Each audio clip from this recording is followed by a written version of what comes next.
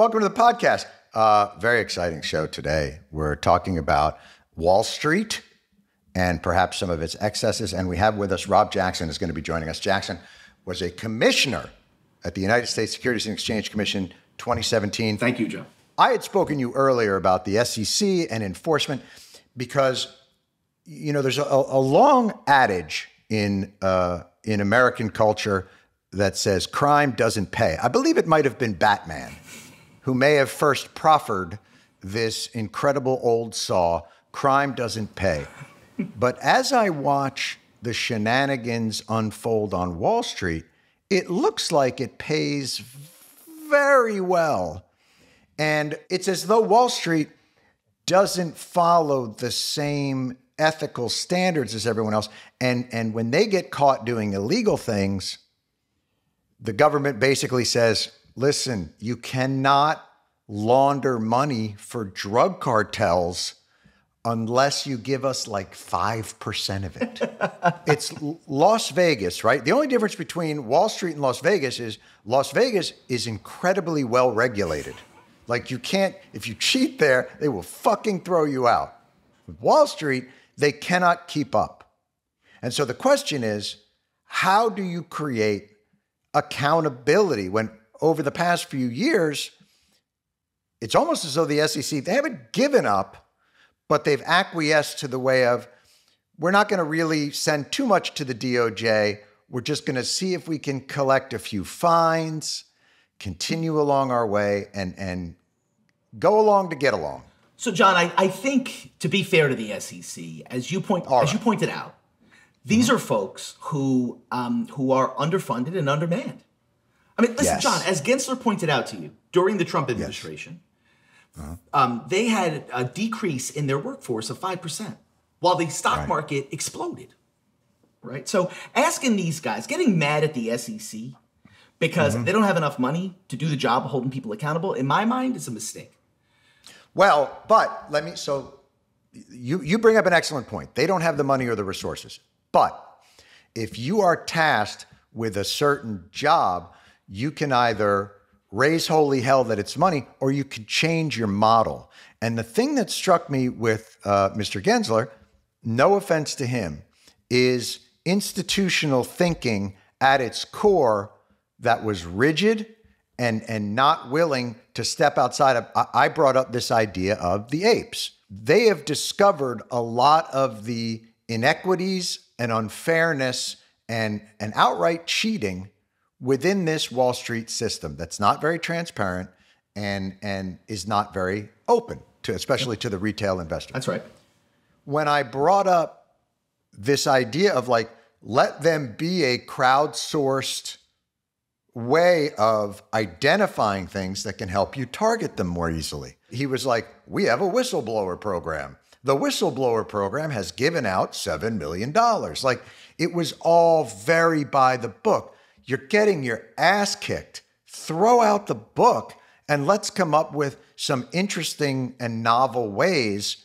Your analog, they're digital. Like, mm-hmm.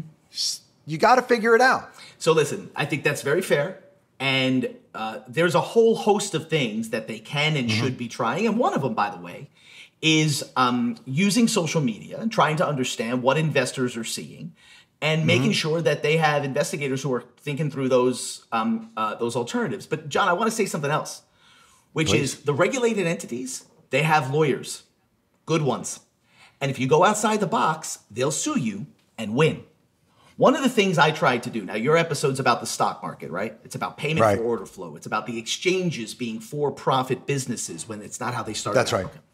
So we tried to make some rules about that.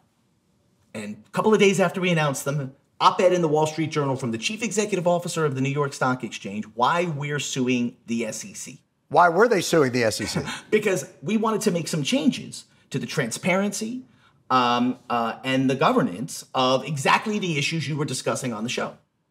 Right. So we decided we wanted to make some changes. We made those changes into a rule, and they took us to court and beat us. And I got to say, Jon, um, whatever you want to say about the SEC, when they go outside those lines, the regulated finance industry has really good lawyers. And by the way, not for nothing, but some of their lawyers used to work at the SEC. And Many of them. Absolutely. And these guys go into court.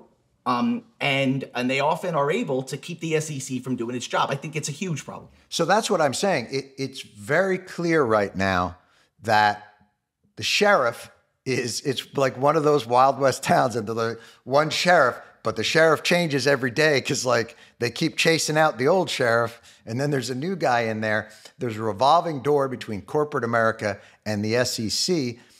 It's it's self-regulating in a large extent, but they don't have any incentive to control especially not even the front room casino of the stock exchange, which is the most transparent part of it. It's the part that we see, the part that the, the stock ticker on is the most transparent part of the stock market.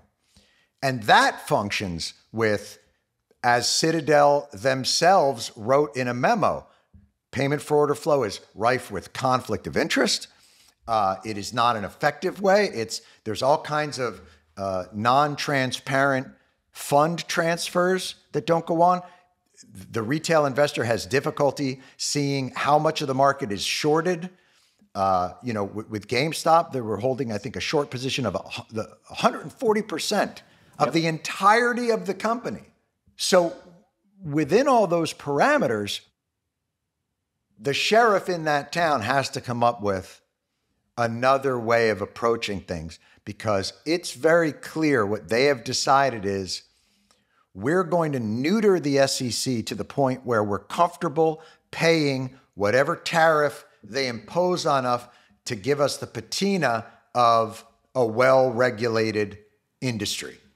It is not well regulated. Absolutely. It is not well regulated. And you're absolutely right that the fines that these companies pay, just a cost of doing business for them. Um, right. I, I, that's absolutely right. And what I would say, Jon, is if we want to have a conversation about how to fix that problem, that mm-hmm. conversation's got to include doing something about the amount of money the finance industry gives to Congress. The amount of money that's spent by these sort of the, the Chamber of Commerce and the Business Roundtable on these congressional races is so mm-hmm. astonishing and completely non-transparent that what we end up with is a system where members of Congress don't want to fund the SEC to do its job. It's a capture. They, they, they've been captured. It's worse. Listen, Jon, when I was at the SEC, mm-hmm. every day I have like a calendar that tells me what I'm doing that day. Half those conversations, half my calendar is meetings with industry, their lawyers, or their lobbyists.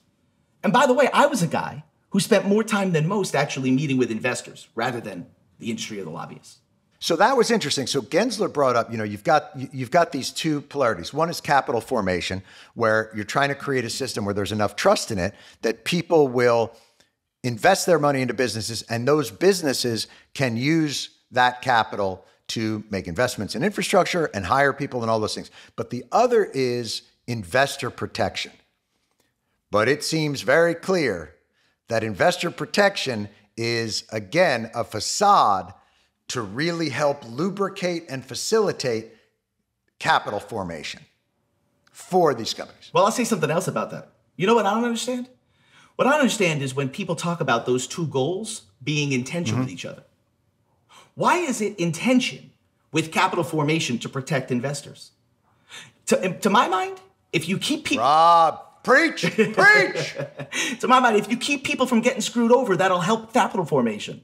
If you make people believe that the market actually works and isn't a casino, that'll help capital formation. But unfortunately, I think the way people are thinking about it in Washington is you have to choose. Either you make things inexpensive and easy to rip people off, or you make them expensive and companies can't get money. And I always thought this was a false choice, man. But here's it's I think it's even more sinister than that. I think if you look at monetary policy where they keep interest rates near zero so that you really have no other choice in terms of savings, to, other than to flood the money into the market, which inflates all the assets of the market. You have pension funds that are allowed to gamble with hedge fund operators. So uh, the money that people are saving for their retirement gets flooded into the return that those people get on the games that they're playing in the backroom casino far dwarf what they're giving to the pension holders. Mm-hmm. And what it says to me is not only are they not protecting investors, they are actually lubricating the chutes to get investor money to help them play their casino games, and they refer to it as dumb money. And it's it's very again, it looks like a scheme to get dumb money so that this their system of stocks gets overinflated. Not to mention the whole derivatives and and other nonsense that goes on behind the scenes that's really not transparent. So, um, a few things about that. First of all, I think I noticed in your episode um, mm-hmm. that some of your staff asked you what it must have been like to earn 5% on a savings account. Yes. Like that's like a relic of the past. Yes. And you made a point to the panel that I thought was important, which is um, uh, it's no longer politically tenable to govern while the stock market falls. No question. And no question. I think that's a problem, Jon, because the truth is Gary Gensler shouldn't be in favor of the market going up or down. Right. Gary Gensler should be in favor of the market being fair and protecting the people who are trying to save for their retirement. And I, I think at a human level, he, he does feel that way. But the political reality is that if the market goes down, he's going to be blamed for that. And that's not a tenable way to, ha- to be the sheriff um, um, that's not a that's not a, a way that a regulator can do their job. And I think that it's it's it's one of those situations where the people that are the insiders of the market resent the retail investors. They really resent this GameStop. You know that that they got a little taste of their own shorting medicine and they got put in a short squeeze by the retail investors. They really hate that.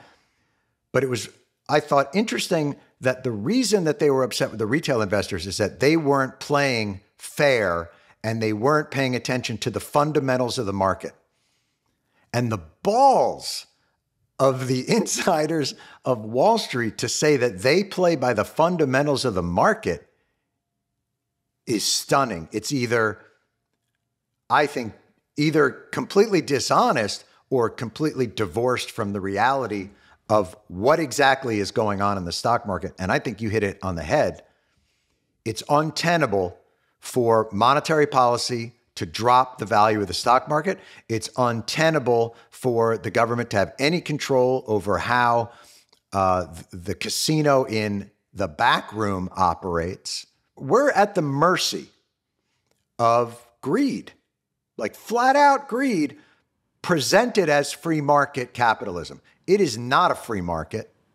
I don't even know if it's capitalism. It's it's certainly crony something. The good news about that is that anybody who's serious about a free market, about actual mm-hmm. like sort of a, a, a, libertarian way of thinking about this, mm-hmm. knows that the stock market system we have is broken. I'll tell you something else. When I went um, when I was on the SEC and we made rules to rein in the stock exchanges, I had mm-hmm. bipartisan mm-hmm. support for that. Um, we lost in the courts, but even members of Congress would say, you guys are doing the right thing because this is not a free market. It's not a free market, Jon. When one side is paying another side to get dumb money order flows into a particular place where you can trade against them for profit, that's not. Uh, that's not a free market. That's um, and hyperinflating the volume and making their money skimming each trade. I, I think that's right. Um, and I, I want to note something that you um, you didn't point out on the show, but I think is worth noting because Payment for order flow is a real problem, but you talked about it with stocks. Now, on, yes. on stocks, that market has been very, very well developed over years, and we can debate. It's, it, I'm not saying it's a perfect market, but it's a market that um, uh, that works reasonably well. The market where Robinhood really makes its money, the market where mm-hmm. payment for order flow is a great source of profit, is the options market. There you really make money. Why would the options market be more lucrative? Is that because there's even less transparency or or regulation? Yes. Okay. There's more room in between the um, the bid and the the price for an option in which they can make money. Um, there's more room right. for options than there is for stocks. To explain to people, when you uh, order up a stock or something, they have like price discovery and they create a market and there's a certain price that you go in there and you might say, uh, buy this at 25. Right. Right. And they might know that they have a buyer at 27. Right. Now, why, why is the option give them more leeway on price? A, a short way to put this is that dumb money is dumb when it comes to stocks, but it's even dumber when it comes to options. that is, they have more room um, uh, on options because they're going to be able to turn around and find uh, another order that's even wider apart, and they'll be able to um, uh, to make the difference. And they'll get that difference. And it's not illegal for them to take that difference. Not at, all. and not only that, it's called price improvement. Because you see, the uh, no, Jon, they're doing you a favor. You seem ungrateful. Um, I'm- Fucking Orwellian. so it's called price improvement because um, what they're saying is uh, there's a an, uh, there's a price on the there's a bid and they ask on the exchange. Here's what it looks like, and as long as we get you something inside here, we did better for you. So so they'll when do they establish that range? And is the range different for options or for stocks? Like, will they give you for an option a bigger range? yes, Okay, so that's where they get the money. Yes, and w- just to say a little more about that, I think um, uh, one of the things you pointed out on the show, but didn't um, uh, uh, didn't uh, go into detail on, is that you might ask, "Hey, Rob, where does the range even come from for stocks, say?" And the answer is that the stock exchanges have what's called a sort of public data feed. They're required by law to maintain it. It's got a bid and an ask, and it tells everybody here's what the bid and the ask are on uh, uh, um, uh, for stocks during the day. Um, So uh, that public feed, um, uh, is, as I say, it's run by the exchanges. Over time, the exchanges became for-profit vehicles, and they figured out, you know, that public feed. Maybe we should have a private feed that's better. Oh, for fuck's That's sake. That's faster, and they do, and they charge fees for it to Wall Street. So is that when, when these companies put up a microwave tower or they move their servers closer, are they trying to jump that feed? Yes. Also, what they what they'll do is they'll uh, the New York Stock Exchange itself will make uh, updated feeds, quicker, uh, faster data, better information, and uh, the brokers will pay for that uh, for those that data so that they can can trade ahead of the feed as well. So if you're a retail investor, the feed that you're getting is almost like a glimpse into the past. It's, it's a bit of a time machine. Like when you're seeing that stock ticker on the television, it's like seeing the light of a different, uh, a distant star. It's the light you're seeing isn't the light of now, it's light from some time ago. In a way, that's right. And not only that, Jon, but you might say to me, "Hey, Rob, who runs the public feed? Boom. Who runs the public feed, Rob? The New York Stock Exchange." Motherfucker. That also- and they're the and they're for profit. and they are selling a better private feed. When I was in office, I gave a speech where I said this is sort of like letting Barnes and Noble run the public library, and then being surprised that the library sucks. Right, because they're trying to sell uh, a, a different problem. So then the question becomes can the retail investor get the private feed?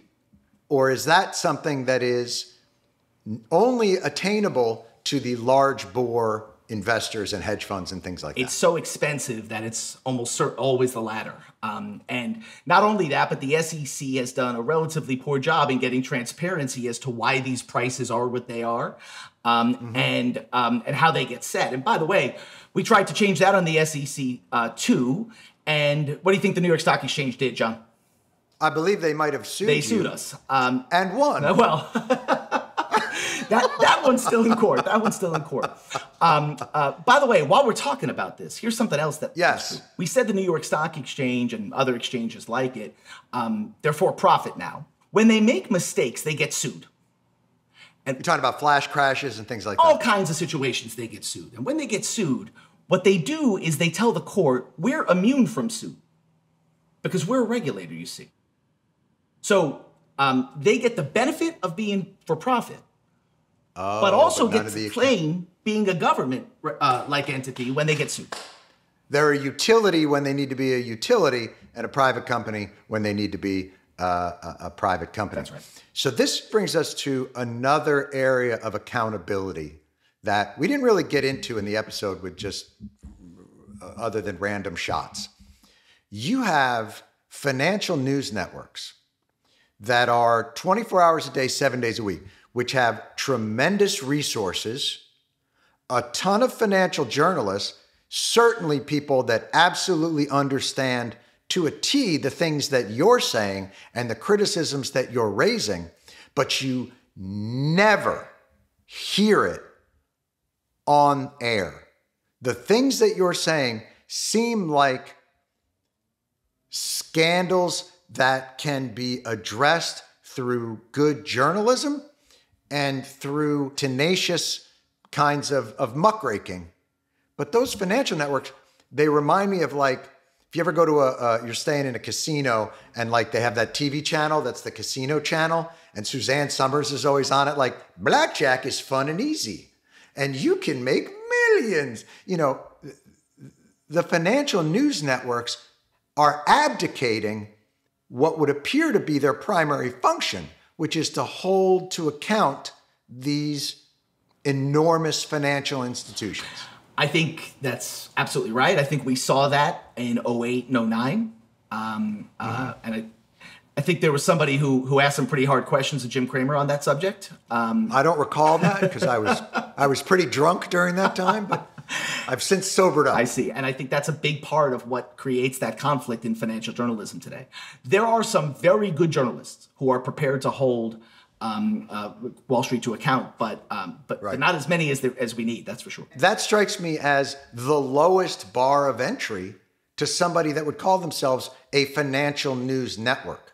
That they, it's very clear that the apes have uncovered all kinds of uh, shenanigans and inequities and uh, a two-tiered system that they don't have access to, and I don't think any of it would come as a surprise to the financial journalists who work in those uh, who work in those networks, and yet they don't seem to have an interest in exposing them and correcting them. In general, I think that's the way they report it, and we see that in the in, in market behavior. Um, I, I don't see a lot of hard hitting interviews there where people are coming on and getting asked really hard questions about is this the right system and how do you make your money and do you feel good about the way you make your money? The journalists that cover finance should be asking the same questions that the SEC is asking. They should, their interests should be aligned. I think that's right. Um, and by the way, you know, there there are folks out there who are taking um, who, who who do that kind of work, but they're not the folks who have the biggest microphone. And I, I have to be honest, Jon. I think that's why, if you look at something like 08, that's why it took so long for the journalists to accept that that's what was happening because everybody was on the phone telling them it's going to be fine. Mm-hmm. Uh, I think that the markets we've created are increasingly volatile and increasingly fragile. We learned that the hard way at the start of this pandemic, Jon. Because at right. the beginning of the pandemic, before it became clear that Congress and the Federal Reserve were prepared to act aggressively, um, the stock market was went on a terrible, terrible ride. Um, and uh, it was only the existence of these policies you've just described uh, that uh, that led it back to the market we have now. I think people who aren't in the day-to-day Wall Street game see that and think it's bullshit, and they're right. Um, it's not been the American experience or system that the government sits back with a cannon of money and bails out investors who made mistakes. Um, but that's the world we have now. Twice, Jon, twice in 10 years, the US government has intervened in private enterprise um, and bailed them out from their mistakes while inequality has risen. I'll, I'll give you an example. Um, yeah. in, when I was on the SEC 2018, 2019, 2020, airlines, which were doing very well at the time, did huge yes. amount of stock buybacks. What they decided was, look, we think the stock's cheap, we've got extra cash, we'll buy back some shares. Then a pandemic happens. Bad for travel, Jon. Now they have a problem. Now, in my view, what's the solution to that? Well, maybe you shouldn't have been buying back stock last year. And maybe right. we need to have a bankruptcy process where the executives and everybody else who made those decisions actually lose some money because of what just happened. And what happens instead? Right. What happens instead is the US government gives them a cannon full of money and bails right. them out. And I got to tell you, Jon, if you know you're going to get bailed out, I don't blame you for doing stock buybacks when times are good. Right. No, they're acting in their own best interest, which which makes sense. That's right. I mean, it's it's it's not as though they're not. But that stock buyback, uh, the stock buyback issue for the airlines was an enormous one. They were so flush with cash uh, based on the monetary policy and the things like that. And when they did all those stock buybacks and when they got hit again, what did we do? We, I think we bailed them out again, right? right? And yet, you know, the individual traveler or, or, or those kinds of things can never do it. And the reason they always give you is moral hazard. For apparently, if you bail out an individual, it is moral hazard. But if you bail out a corporation, it's the free market at work. And that's why it's so frustrating to hear people say, uh, you know, we can't help retail and we can't help the worker because that's socialism and that's the government picking winners and losers but we pick winners and losers all the time and we we feed those winners cannons filled with money that's absolutely right and um, this is why when i was on the sec and people would come into me and make a free market argument i mean i, I have to say i admire the chutzpah in being JP Morgan and coming into my office and saying free markets. Because I'm like, listen, man, Right. I was there in 09. Right. You got a $25 billion check. Yeah, ain't nothing, ain't nothing close to it. And, and that's the thing that also strikes me is there's no strings attached for the most part to any of this money. And so uh, in a pandemic, the Fed can say we're not going to collect any kinds of uh, drawdown fees from the banks in terms of bounce checks or overdraft fees or any of that shit. We're not going to collect any of it. And the banks can go, great, because we're going to keep doing that and just keep it. We're not going to pass those savings onto the consumer. We're just going to use that as a business model. It's funny you say that, but so I, there's sort of two ways to think about this. Number one, Right. the government should get out of the business of handing bags of cash to, to corporations. Um, but if they can't get out of that business, they should at least drive a better bargain. when they gave all that money, I don't understand why they didn't have some kind of and 20% of this has to be low interest loans to small businesses. Right now, to be fair, they did do the Paycheck Protection Program, which um, uh, which had some features that were like that, and small business. That but that was much later. That was in the pandemic. I'm talking about the 2000. Listen, I thought the pandemic relief was much more geared on a, a, a Keynesian level and and stimulated family. It made much more sense to me a lot of what they did. I think Me too. it, it may have been poorly constructed and, and there might have been some fraud with it, but it made much more sense. But you saw immediately the narrative was if you give people $600, they'll never come to work again. Yep. You lazy fucking Americans, you, you essential workers that have been pounding it out on the front lines of a deadly respiratory virus just to make sure that everybody's avocados come in. But if I give you $600, like all of a sudden you're going to be like, hello, Easy Street. I'm never working again. Like it, it it's a bonkers narrative that money corrupts the worker, but it only elevates the corporation. It's only it's the fair thing to do, but it's also the economically sane thing to do. To understand that um, money's equally capable, if not more so, of cor- of corrupting a corporation. And to the degree that you Yeah. keep handing them this money when there's trouble, they're going to keep acting like people who are going to get money when there's trouble. Um, and that's Right. unlikely. And, and take that and take that short-term gain. So in the future, where do you see the the, the future of accountability, the the future of regulation, and and maybe even the movement of retail investors as a powerful force to recalibrate this market? So, first of all, if you want more accountability on Wall Street and from the SEC, the first thing you have to do is get some transparency around the money finance gives to Congress. Job one. Job one. Because you looked at Gary Gensler and you said, you're taking coffee donations and you're up against Jamie Dimon. Right. Uh, I don't like your chances. And of course, you're right, Jon. I walked into your coffee room today. There's a little sign that says coffee donations welcome. We're at the SEC. Yeah. Holy shit. Now, we could use some more resources, that is for sure. um, Congress makes sure that he doesn't get money um, uh, that he needs to do that job. So I, I, I think we should we should sort of uh, point our attention where it belongs, which is to the degree that you can you can give money in secret to support political campaigns.